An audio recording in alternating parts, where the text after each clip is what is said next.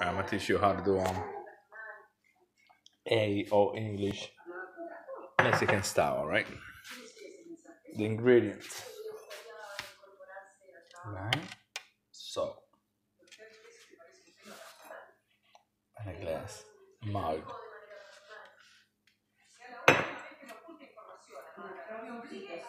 That's what you gotta do around the rim.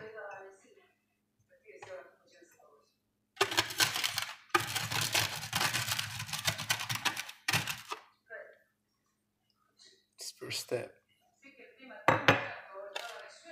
Fine. Let's go get um oh English. Gotta be cold though. ¿Quieres darme un segundo? ¿Cómo te- ¿Me echas, me echas una onza más de agua? Dame,